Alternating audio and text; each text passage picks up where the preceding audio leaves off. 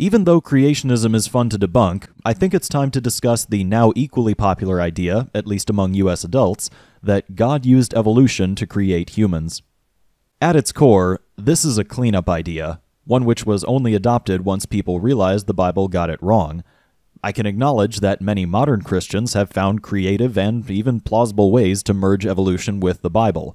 But the fact remains that no one would read the Bible and conclude that humans evolved from ancient animals with God simply guiding the process.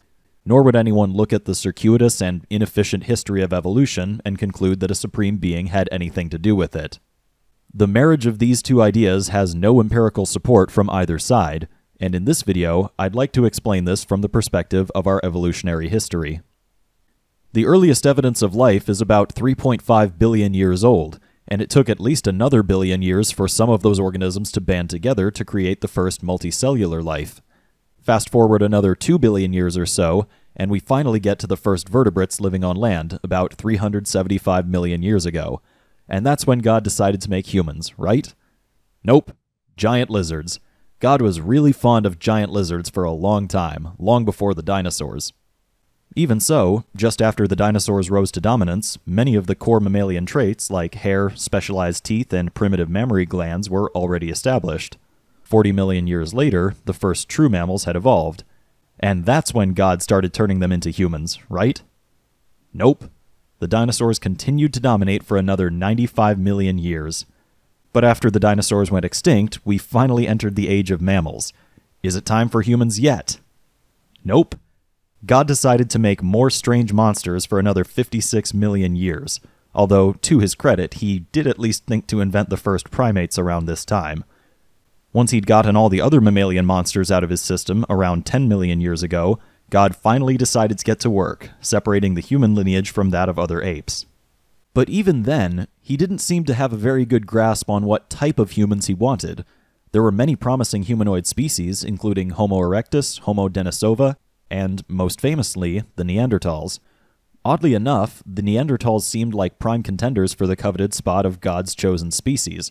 They had language, buried their dead, and there is even some evidence of symbolic practices as well. But then Homo sapiens outcompeted them, either because God had finally made up his mind about which species he wanted, or because he decided to be hands off in the final stages. Everyone loves a good spectator sport. Come to think of it, maybe that's why he was so angry in the Old Testament. His precious Neanderthals lost, and he had to settle for Homo sapiens. Now, maybe God's chosen species didn't have to be humans. Maybe he would have settled for any animal that was smart enough to have symbolic reasoning and technological progress. But if that's the case, then why weren't any of the previous animals good enough? Surely he could have picked a previous species and guided it in that direction.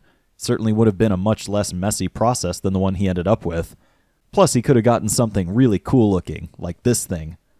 You've got to admit, that's way cooler than the hairy potatoes he ended up with. Now that I think about it, I'd be pretty mad too if I thought I was getting this, but I actually got this.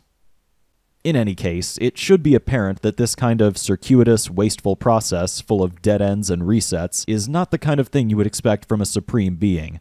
No one would look at our evolutionary history and think that a supreme being was guiding it. Nor would anyone read the Bible and conclude that humans are descendant from ancient animals. And indeed, for most of its history, no one did.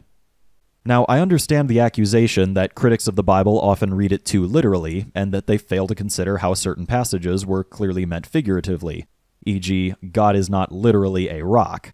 However, for most of its history, the biblical creation story was predominantly read literally, which seems to indicate that there is nothing about the stories themselves to suggest that they were ever meant to be allegorical.